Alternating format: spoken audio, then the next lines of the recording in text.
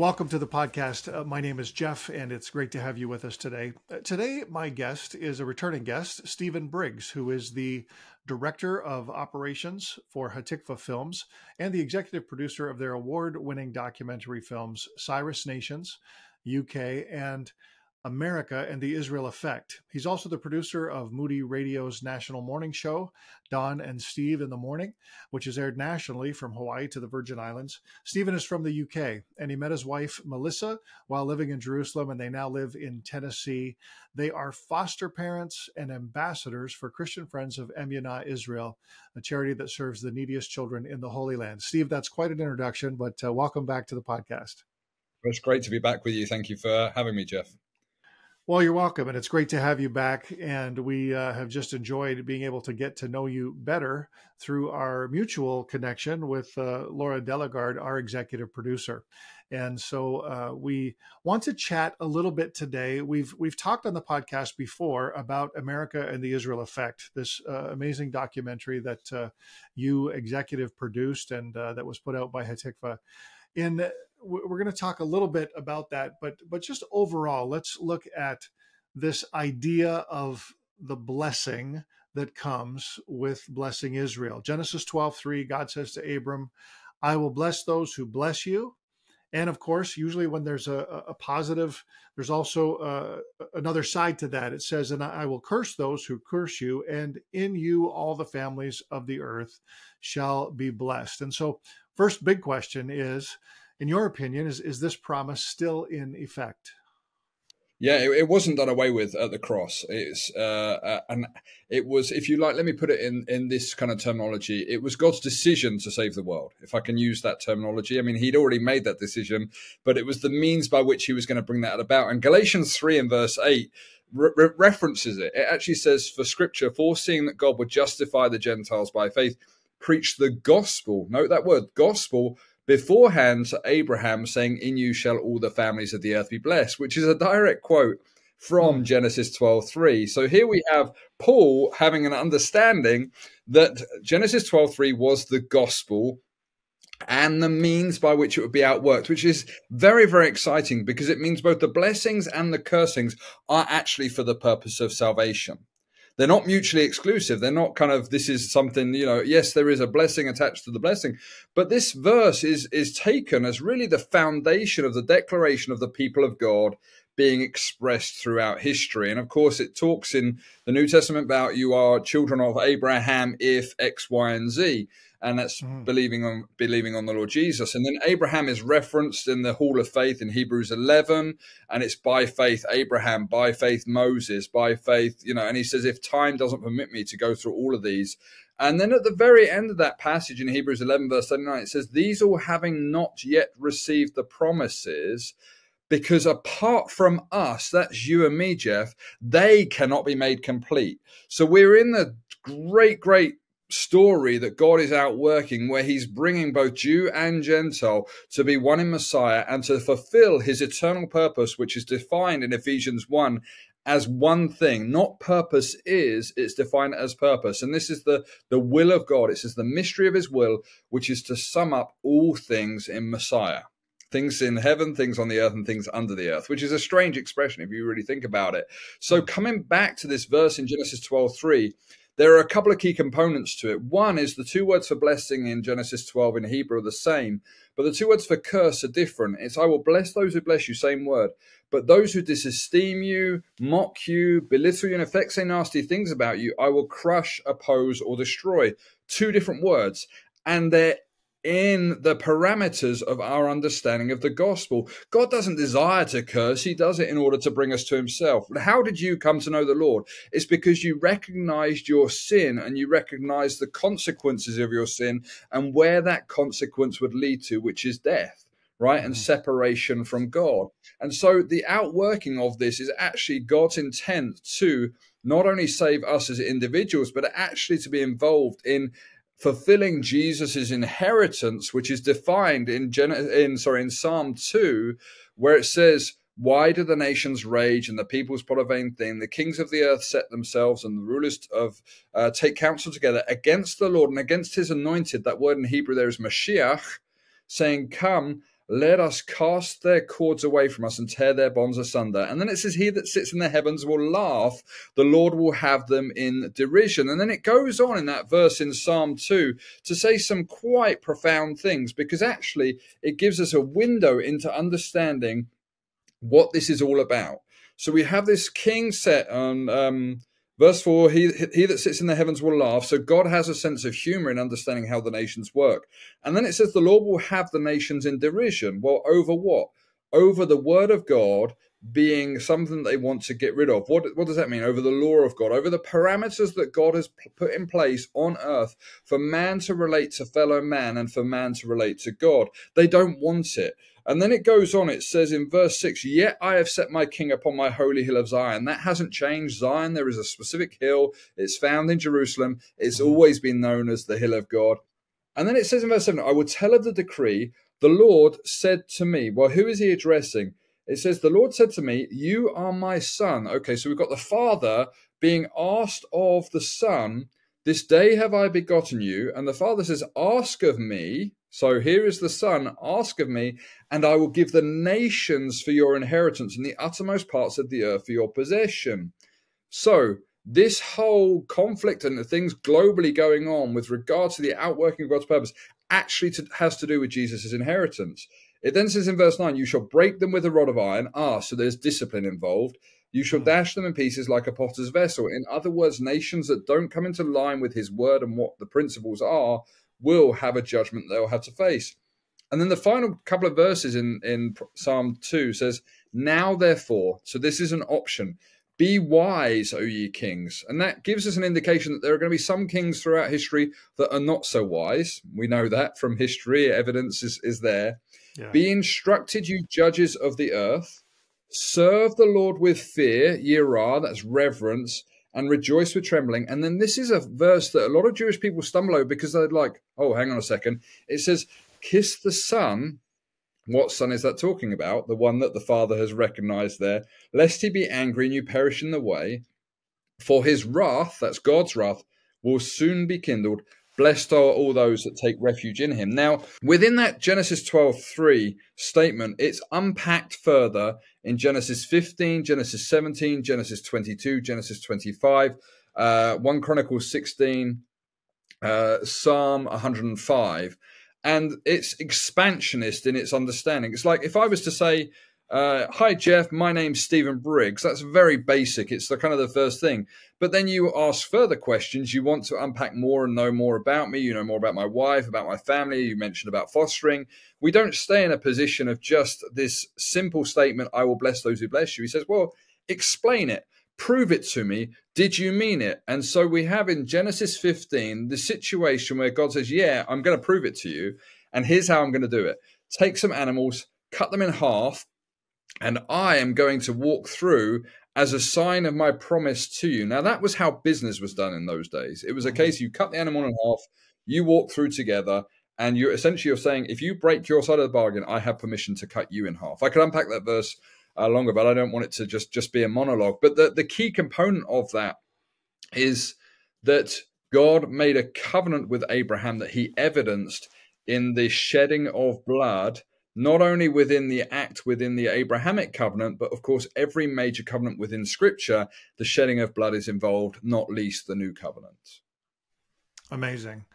Now, Stephen, I think having listened to you, uh, first of all, you've got a lot in that brain of yours and uh, i'm amazed at how you remember all this stuff but i want to also say that i think it's safe for us to assume then that uh, you feel like this promise is still in effect it's relevant today absolutely yeah okay. i do because it's it's never been done away with so yes. there's nowhere in the new testament that it says this has replaced this new covenant has replaced the abrahamic covenant. There is in the new covenant a place where the mosaic covenant is being fulfilled in christ. And this is where we need to be distinctive and understand Also, there was the covenant, the Davidic covenant, which talks about David sitting, uh, Jesus sitting on the throne of David. That is yet to be fulfilled. It will happen. I mean, it has happened in the sense of he's gone and sat next to his father in heaven, but it's mm. going to be fulfilled literally on earth as well. Right. So we have to be contextualists. We have to take that which is in the scriptures within its context. If we take it out of its context, without its cotext, it becomes a pretext for a proof text. In other words, we can create anything we want out of it. And that's where heresies throughout history have happened.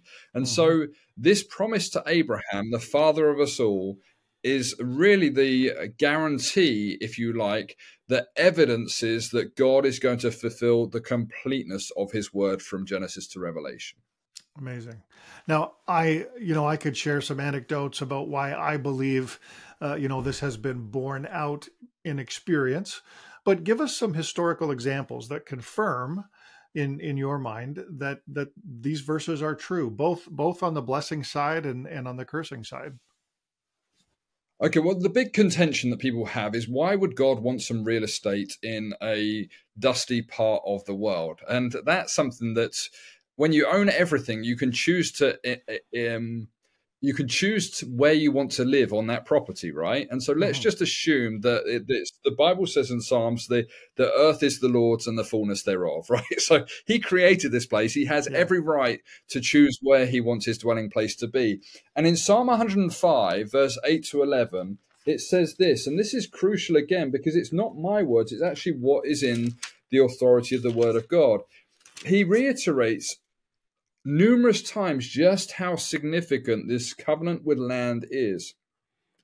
I'll, I'll read from verse 5. Um, actually, verse 4. I mean, the whole passage is wonderful, but for time, let's just do from verse 4. Seek the Lord and his strength, seek his face forevermore. So that's a call to believers.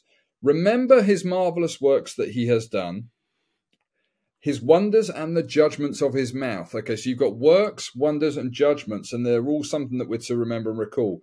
O you seed of Abraham his servant, there's the first one. You children of Jacob his chosen ones, the second one. Then it's an identification. He is the Lord our God. His judgments are in all the earth. And then this is where we kick, kick into it. He has remembered his covenant forever. Which covenant is he referencing? It's not the new covenant. The new covenant hasn't been made yet. It's not the Mosaic covenant because it's Mosaic covenant is conditional. So he's actually referring back because he starts with Abraham this covenant that he made with Abraham. He has remembered his covenant forever. Verse 1 The word which he commanded to a thousand generations. Now, biblically, a generation is 40 years. It can be sometimes 70 years or even 100 years. But let's assume it's the lowest common denominator 40 years. It says he remembers his covenant for a thousand generations. Okay, so the minimally, we're looking at 40,000 years. The word which he commanded to a thousand generations. And then it says the covenant which he made with Abraham mm-hmm. reinforced, it says, his oath to Isaac and confirmed the same to Jacob for a statute, to Israel for an everlasting covenant, saying, Unto you will I give the land of Canaan, the allotment or the lot of your inheritance, when you were but a few in number, yes, very few, and sojourners in it. And then it goes on to talk about that journey and how they they process through it. So we have multiple times in that passage that a specific piece of real estate has been given to the seeds of Abraham, Isaac, and Jacob. Now, you ask for evidence of where throughout history Genesis 12 has gone into effect. Well, an obvious one, Exodus 1, Pharaoh orders the Hebrew male babies to be drowned. They weren't. But there is a principle in scripture of reaping what one sows. And so what did happen? Pharaoh's men were chasing the Israelites through the through the Red Sea, and they mm. would drown themselves. They reaped what they had sought to sow on Israel.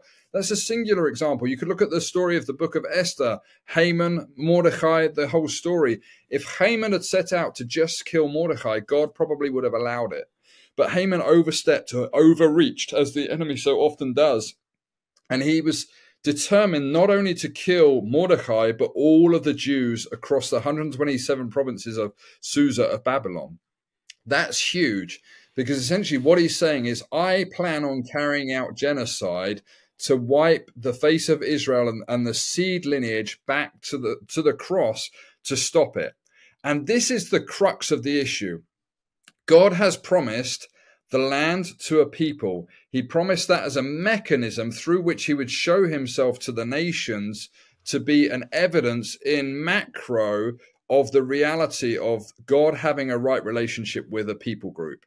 Now, he wants to have a right relationship with all the nations of the earth because that's to do with his inheritance, but he uses Israel as an example to all of the other nations in the same way he uses you, Jeff, where you live in Canada, to be a witness of Jesus to your neighbors. Mm-hmm. You are in micro, what Israel is called to be in macro. Just macro, the present position of them is they are largely Jacob by nature, not Israel.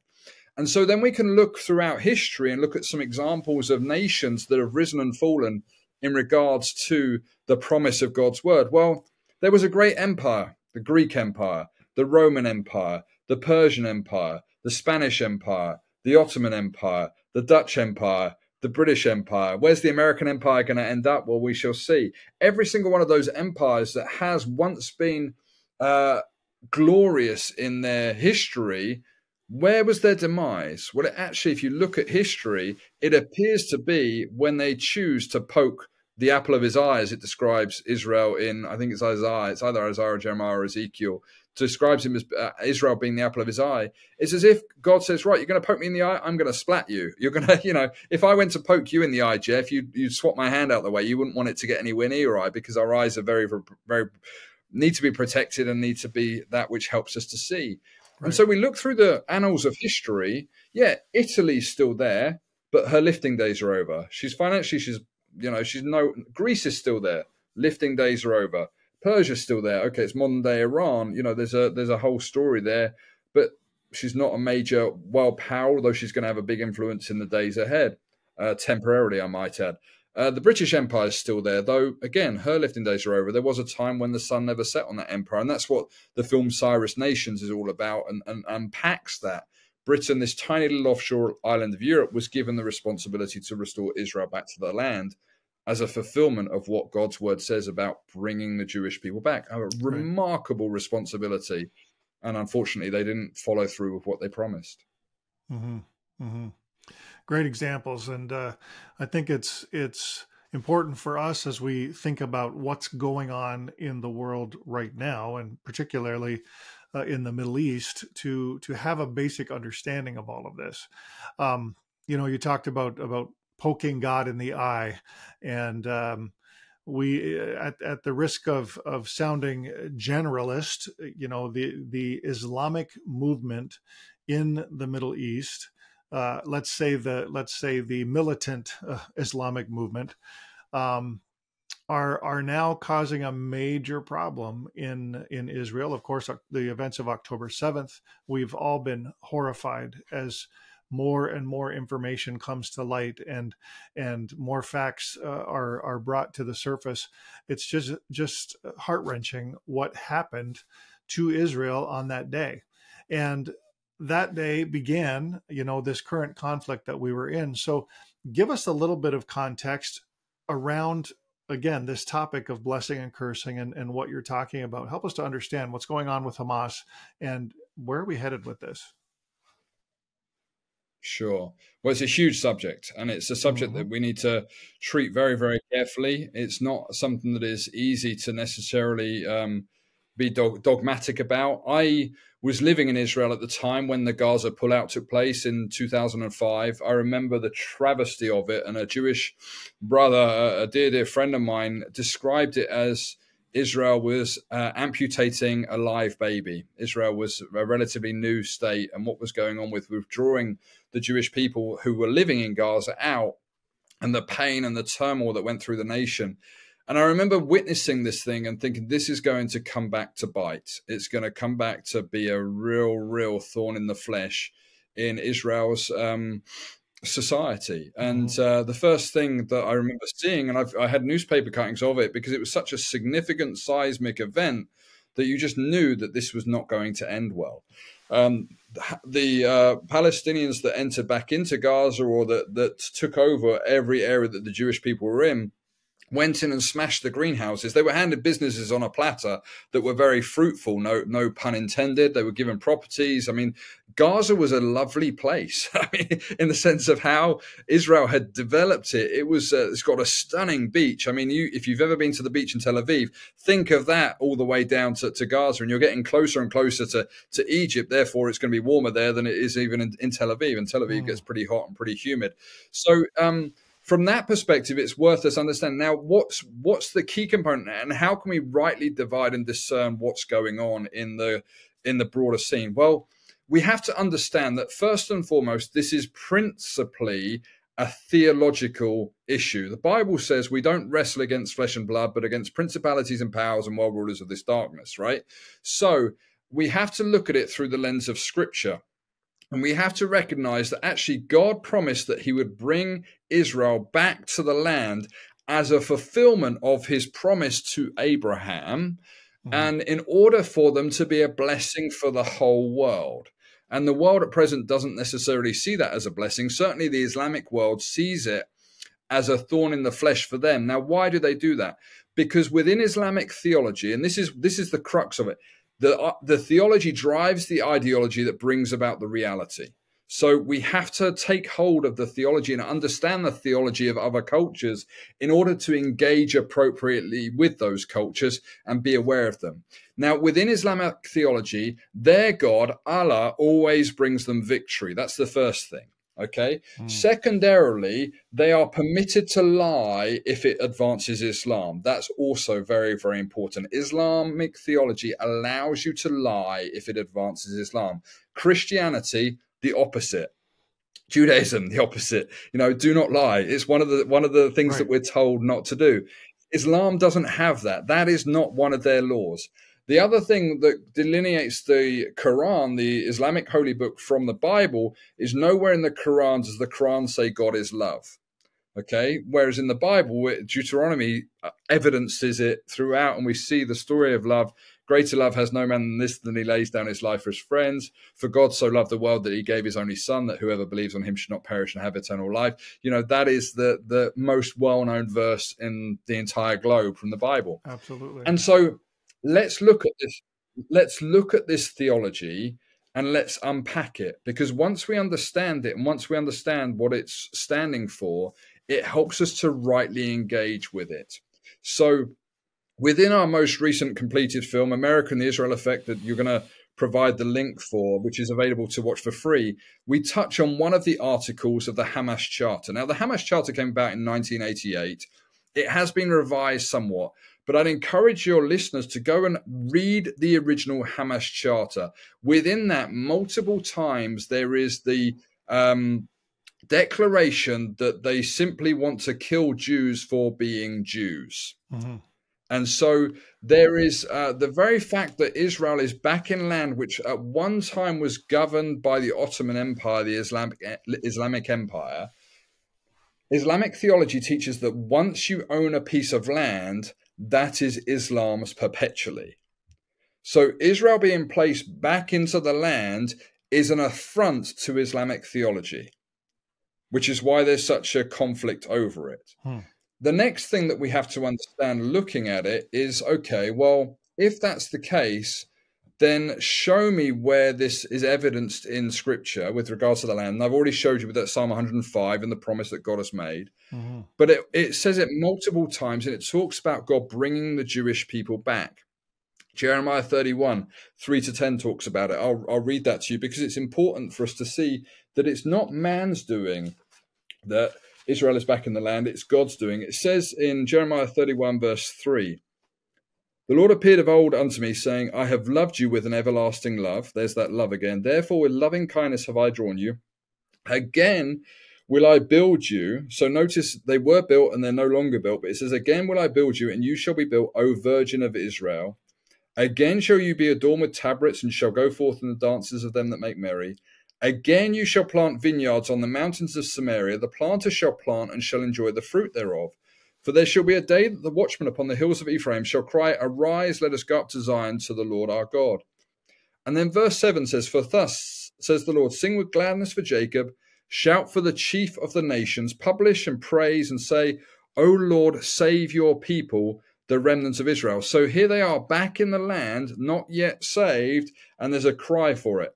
And then this gives us a key component it helps us give us a timeline as well. Behold, I will bring them from the north country. Well, we had a million and a half Jews come back from Russia. It was a what was known as Aliyah, but it doesn't just stop there. It says, "And gather them from the uttermost parts of the earth, and with them the blind, the lame, the woman with child, and her that travails with child together. A great company shall they return here. They shall come with weeping, and with supplications will I lead them. I will cause them to walk by rivers of waters in a straight way, wherein they shall not stumble. For I am a father to Israel, and Ephraim as my firstborn. And then verse 10 says, Hear the word of the Lord, O you nations, and declare it in the isles of far off, and say that he that scattered Israel will gather him and keep him as a shepherd does his flock. So here we have a proclamation. It's repeated also in um, Deuteronomy 30. It talks about the Jewish people being exiled because of their for want of a better word, their misbehavior. They're not doing what God said. Mm-hmm. But he also promises that he's going to restore them. He does that as well in Ezekiel 36. He talks about bringing them back from the nations. People say, oh, well, that was when they came back from Babylon. But that scripture we just read says from the north country and all of the other uttermost parts of the earth. So it can't be from Babylon because Babylon was to the east. So it's giving us a different time frame altogether. Well, you and I live in the generation where this has actually literally been fulfilled right in front of our eyes and continues to be fulfilled as Aliyah continues to happen, which is an affront to, to Islam because that land for a short season, relatively speaking, the Ottoman Empire, okay, 400 years, you know, in the grand scheme of things, when the land was promised, has been governed for a period by those that adhere to Islam.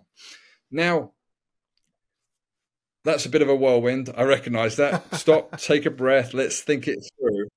And then then let's let's think about this. If God intended to restore the Jewish people back to the land to be a blessing to the whole world, that includes the Arabs as well. And the medicines, the mobile phones, the water technology across the Islamic world, if they really wanted to do a BDS, they'd have to throw the mobile phone in their pocket. They'd have to throw all of the medicines that they take. They'd have to throw the technology, the laptops. The, the it's just unreal. It's it's basically in this day and age, it's impossible not to use some form of Israeli technology in in day to day life, and yet they encourage people to to not do that. Mm-hmm. Now, if we take hold of that theology and unpack it a little bit further, the theology within Islam is shame and honor. It's not truth and lies.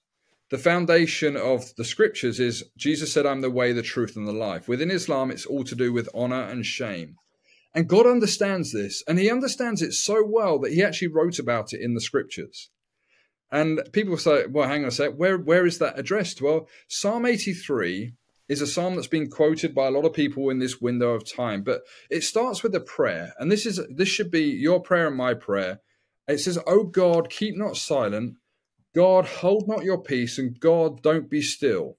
And that, if, if when was the last time you you shouted at God and prayed in that way? I mean, it's quite a strong prayer if you think about it. It's like this is a mm-hmm. it's called a Psalm of Asaph. But within that passage, there are so many things that are really, really helpful to us. God, keep not silent, hold not your peace, and be not still, O God, which implies there's a season in, in time where actually it appears that God is being silent. God is not acting. You know, that's there's a strange, you know, we have to read scripture in its context, say, well, what is it saying to us and how does it unfold? Right. And then it says, verse 2 For lo, your enemies make a tumult, and they that hate you have lifted up their heads. So it's the hatred of God that drives what comes next, of the real God, I might add. They take crafty counsel against your people. Okay, which people is it referencing? Of course, it's the Jewish people because of the context of it. But by wider implication, it's also the church and Christians.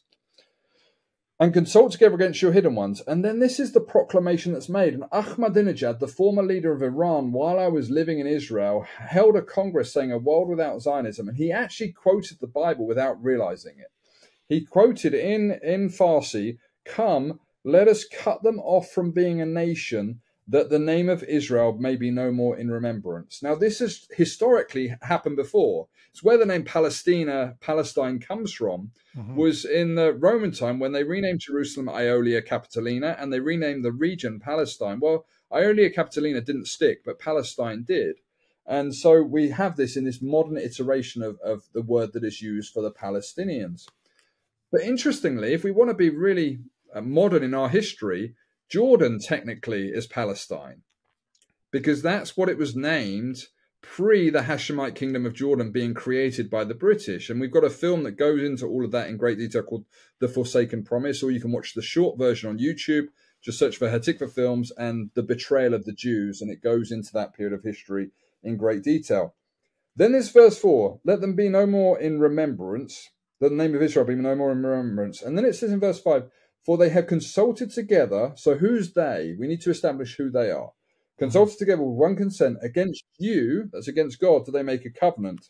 And then it lists a whole host of regions that are now populated by Islamic nations Edom, Ishmaelites, Moab, Hagarenes, Gebal, Ammon, Amalek, all of those enemies of Israel of old, and um, gives us a context to it. And then tells us, takes us back to Judges 4 and Judges 7, which I'd encourage you to look at. But then I, where I really want to get to is looking at the last part of this passage where in verse uh, 14, or let's do verse 13, we have this prayer Pursue them, that is, those nations, with your tempest, terrify them with your storm. Now that seems strange. Why would I, as a believer, pray that God would pursue someone with a storm or terrify them with a, with a tempest? It seems like a very weird way to pray, doesn't it? Hmm. But then notice the next verse, verse 16. Fill their faces with confusion, or in Hebrew, that word is dishonor. Now, if we understand the Islamic honor and shame culture, fill their faces with dishonor. Well, how are they dishonored when their God loses in battle? That they may seek your name, O Lord. Ah, so salvation is tied up with people being dishonored or shamed because it causes them to question their theology.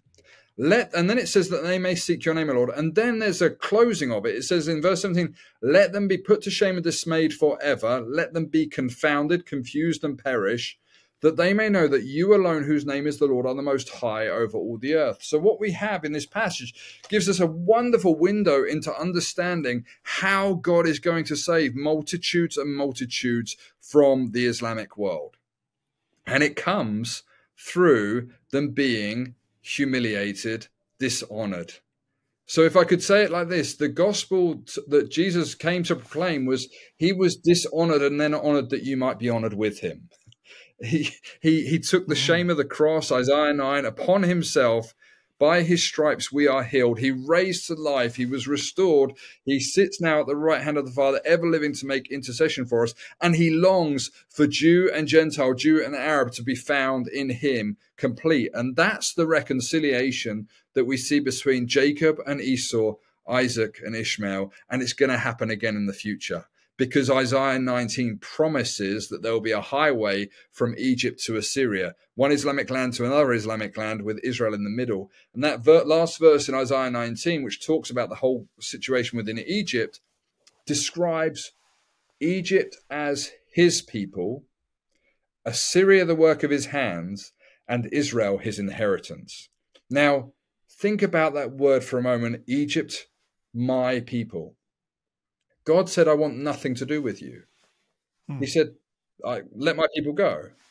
Right? He he so, he went so far as to kill every firstborn son across the nation of Egypt in or the empire of Egypt in order to release the Jewish people. Now, when we think of that firstborn son, that doesn't just mean children. You know, my son said to me, and it was quite a profound statement. He said that means Pharaoh mustn't have been the firstborn son because he would have been killed. He must have been a second born son, right? Yeah. So you've got grandparents who are firstborn, sons firstborn, you know, grandsons firstborn. And that I was like, wow, he was only young. I was like, that is a really, really profound thought process. It would have devastated the economy. And therein lies the principle that we talked about right at the very beginning of a nation that was blessed when she looked after the Jewish people within the land uh, of Egypt. And then when she started persecuting them, that was the end of the Egyptian empire, not least with the firstborn, uh, with the sons of um, her firstborn sons being killed. Um, that's very, very long winded. Happy to unpack any of those components for you, Jeff. Well, I think that uh, what I really want to get to before we finish here is, you know, talking about this current conflict. Okay. Uh, we have we have a, an interesting sort of quagmire in the world right now because there are so many people who are um, what's the word i'm going to look for here sort of justice, uh, humanitarian focus who are crying out about this uh, current situation. And uh, from a biblical perspective, help us understand the difference between um, a war with Palestine or, or Palestinians, I should say, and a war with Hamas, because uh, because these are two very different things. And I think I want people to know, I think everybody wants people to know that we don't, because we say we stand with Israel, does not mean that we stand against uh, Arabs or Palestinians. Um, we stand with Israel in her right to defend herself against this evil which has been perpetrated against her. And I think there's people are having a hard time with this right now. So, so help us biblically with that. Yeah, absolutely. And let me let me start this in the same way. Hopefully, this will be helpful to you. Do you think you, as a listener, as a watcher of this podcast, can possibly love the people that identify themselves as Palestinians more than God does? No, right? We do. We can. We can. We can love to the extent with which we have been loved. That is what the Scripture says, and thankfully, He has loved us so much in that He sent His only Son to take our place in the in the courtroom on our behalf. And right. um, to the the Bible actually says, "To the measure that you have been forgiven, it will be forgiven you." Right? That's why the Lord's Prayer says, forgive, as uh, if you don't forgive, you won't be forgiven. And so these precious civilians caught up in what is going on uh, now in uh, in Gaza is uh, tragic, and every single one of those lives matters, and God sees the lives of all of those Amen. Palestinian civ- civilians that are being kept in Gaza by the uh, Hamas regime this is important to note. Israel is not targeting civilians at all. They have a great value for life. Their their mantra is to save a life is to save the world. Whenever there is a natural disaster anywhere in the world, usually they are the first or uh, at, at the last second or third res, quickest responders into a, a disaster situation to help countries, and they've done that all over the world. They do not want uh, to kill indiscriminately, and they're not. They have dropped thousands upon thousands of leaflets, as they always do whenever they target Gaza. They have instructed and given weeks for civilians to get out of the area that they want to ensure they get control of. Hamas is a different story. Hamas's charter, and again, if you watch America and the Israel Effect, will unpack this, is an entity that their constitution, I think, is the easiest way to describe it defines multiple times that their sole, their primary purpose, I wouldn't say it's their sole purpose, but their primary purpose is to destroy the Jews simply for being Jews, to carry out ethnic cleansing. Mm-hmm. Israel, that's not their heart. They are wanting to deal with uh, something that is um, indiscriminately targeted civilians, beheading babies, kidnapping 249 uh, elderly women and children and taking them into a labyrinth of tunnels underneath. Their headquarters are underneath a hospital, which violates all international law, which means that actually Israel has been hamstrung in actually dealing with the the uh, the, the headquarters of this organization. Mm-hmm. But to, to help us grapple with that as well, we have to understand that the word Hamas actually in Hebrew means violence, it means cruelty. And so we're not dealing with an entity that values life in the same way that you do. Jihad, in the Hamas definition of it within their constitution, is the greatest calling one can have. To die carrying out jihad, martyrdom, is a high calling.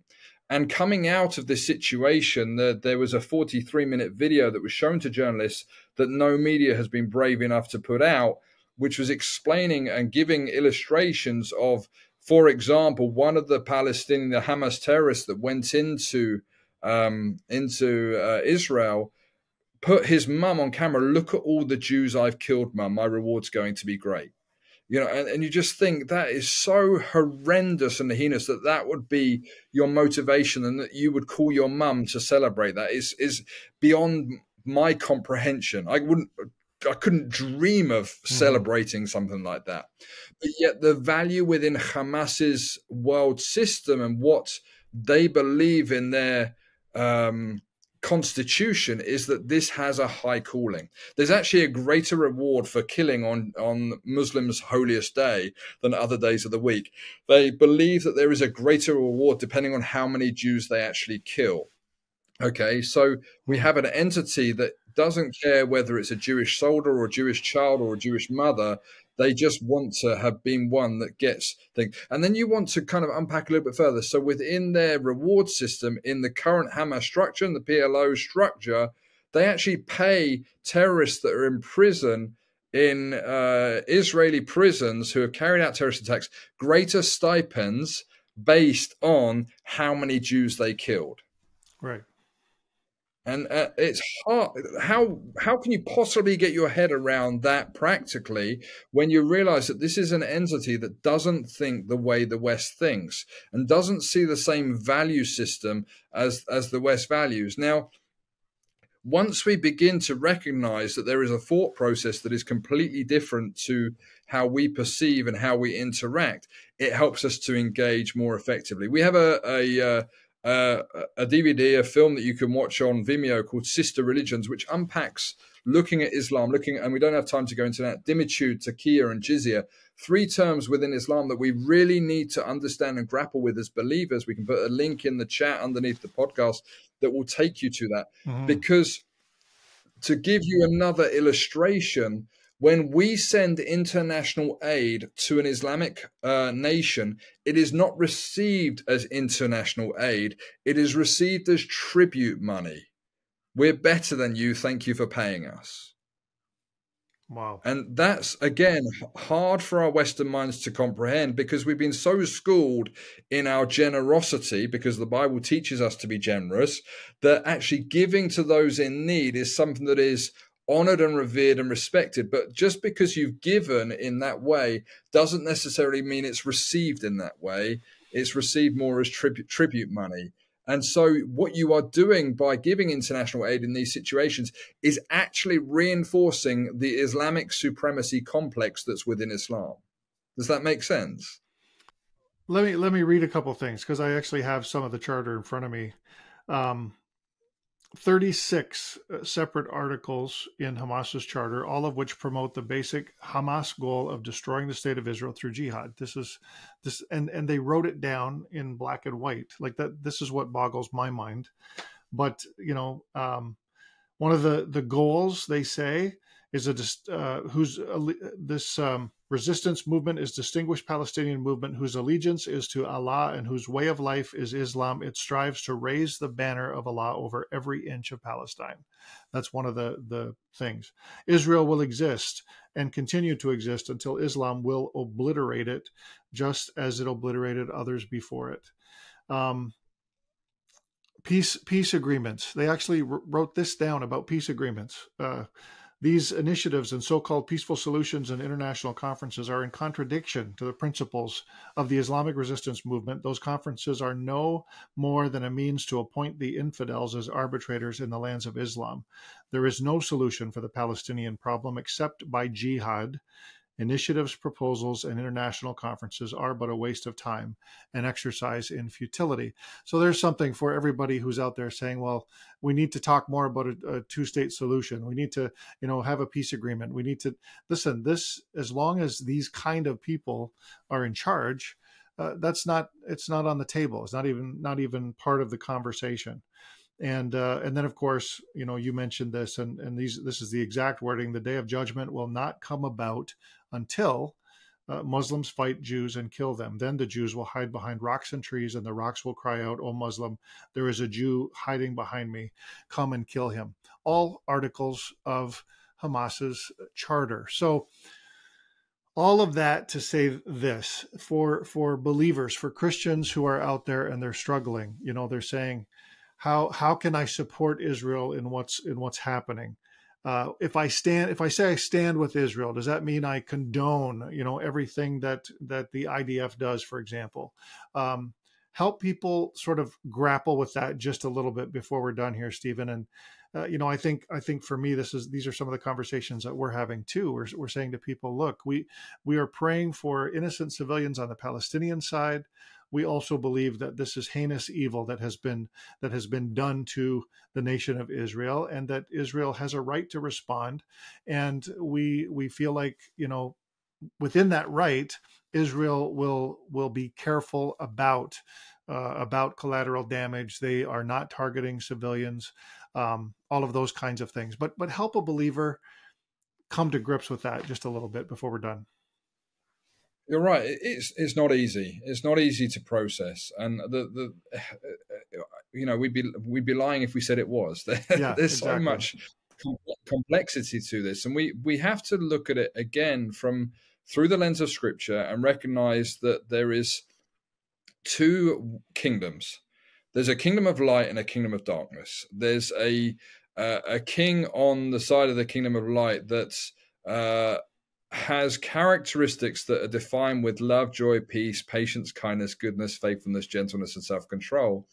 And on the on the flip side, there is an enemy that wants to steal, kill, and destroy. And he is hell bent on doing that. He wants to destroy anything that points us to the fact that there is a God in heaven. He's going to settle for nothing less than taking as many people to hell with him as he possibly can. Mm-hmm. And so to have a entity that doesn't care whether it lives or dies because its greatest honor is to die a martyr and to take as many other people dead with them through the form of killing indiscriminately is a distinctive. If Hamas was on your back doorstep and they came in and they stole your child and kidnapped them, what would you expect Canada to do? What would you expect America to do? What would you expect England to do? You know, the Western nations, whatever nation it is. I, I walk through this, you know, I've got kids of my own and thinking, wow, how would I respond? How would I want the nations to respond? Would I want them to turn a blind eye to that reality? Would I want them to just pretend that it doesn't exist? Of course not. Mm-hmm. On the contrary, I'd want them to be shouting from the rooftops, My child, nine months old, is somewhere in a tunnel in Gaza or in a tunnel in Canada, to use that illustration. Yeah. Go and rescue them, help us find where they are. And so we have to understand that we're not dealing with a reasonable partner for peace in Hamas. Mm-hmm. And their constitution illustrates that. The second thing that we have to recognize is this is not people that uh, got into power by a coup. They won by a landslide in their election. Now, admittedly, they only had one election. They then banned elections in Gaza beyond that point, mm-hmm. but they won by a landslide. So the majority of those that live in Gaza actually chose to support Hamas in taking leadership and responsibility of that nation. And so they have been oppressing their civilians and using aid that has been delivered to them. I even read a report just the other day that Hamas was stealing fuel from the hospital, which is treating patients who are wounded for their own means to continue terrorist activity. Mm. Now that to me, uh, that should cause me to to scream out loud. That is, it's downright wicked, and and and so we have to recognize evil where evil is being expressed, and where it's being expressed to the point that actually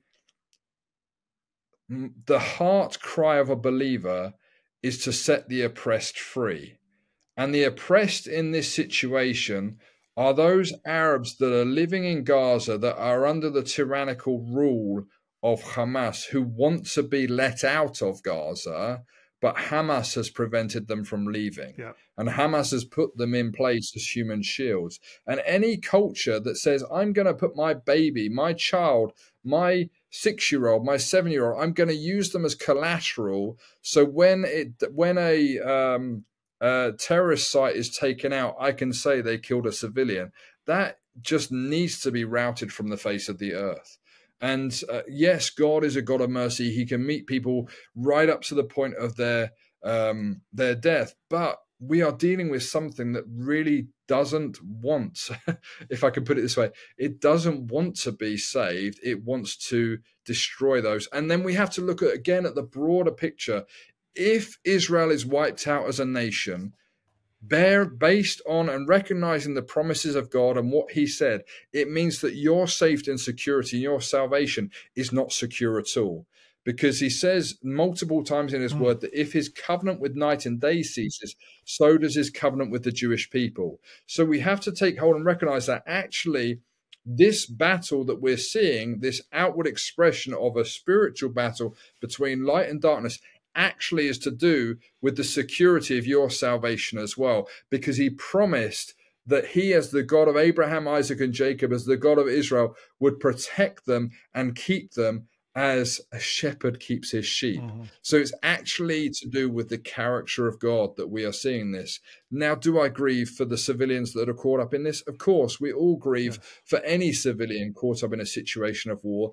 But as believers, we should not be surprised that this has happened in the same way we shouldn't be surprised that uh, Ukraine and Russia has happened. In the same way, we shouldn't be surprised that there are other rumors of wars and wars. In the Yemen and the Houthis getting involved in this. Why? Because the Bible tells us in Matthew 24, 25, Luke 21, Mark 13, that in the last days, wars and rumors of wars will be happening. And actually, everything in that passage in Matthew 24 25 is going to be evidence that we're stepping ever closer to the day when Messiah is returning. And that should be something that excites you and thrills your heart because it, we see where evil leads us in what's going on today. We see that actually we need a savior and a redeemer. We need a king of kings and a lord of lords to rule over this earth. And man is looking for a counterfeit peace, but only Jesus provides true and lasting peace. Well, Stephen, thank you. Those are profound and uh, deep words. And I hope that people listening take them to heart and can find some understanding there.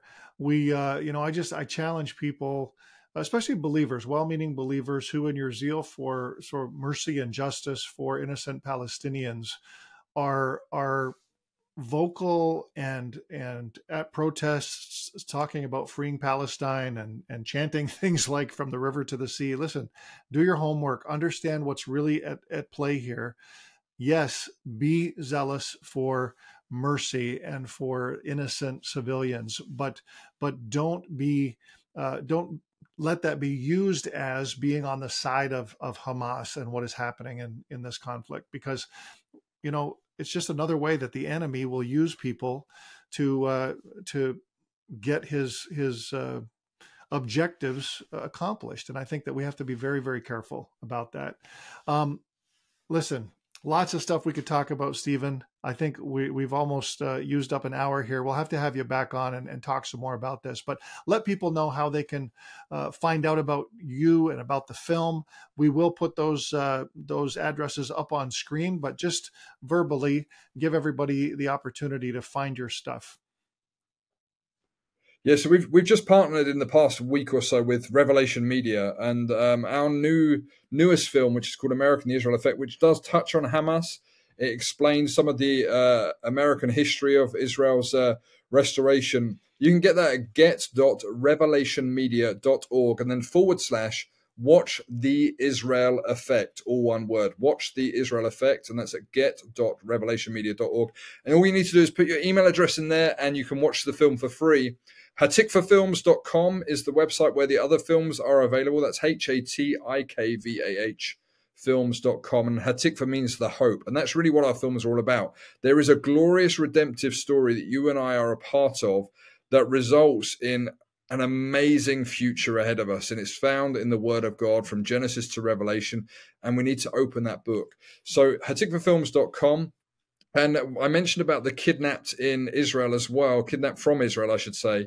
Uh, there's a website where you can go uh, called kidnappedfromisrael.com where you can download pictures of everybody that's been kidnapped. And why not take just one of those individuals and pray that the Lord would return them back to their family. That would be what I would want if uh, one of my children had been kidnapped. Amen. I want people all around the world to be praying that the Lord would restore them back to me. And supernaturally, if need be, we've seen one or two hostages returned. And uh, let's pray and, and long Amen. as 1 Samuel 30, where all the hostages were returned, would come back to their to their families. Amen. Stephen, thank you so much again for being with us on the podcast today. And uh, if you are out there, you're watching, listening, you want to do something in response to what's happening uh, in the war in Israel, you want to help uh, the Jewish people, you can go to our website, firstcenturyfoundations.com, and uh, click on donate. What right now, all the designated funds for emergency response for the war in Israel, 100% of those funds are going directly to six or seven key partners that we're working with there in the land who are doing um, great work helping displaced families, feeding them, um, working with trauma victims, counseling. There's just all kinds of ways that our partners are. Uh, helping to assist, and we want to encourage you to do that. So, thanks for tuning in. God bless you. Have an amazing day.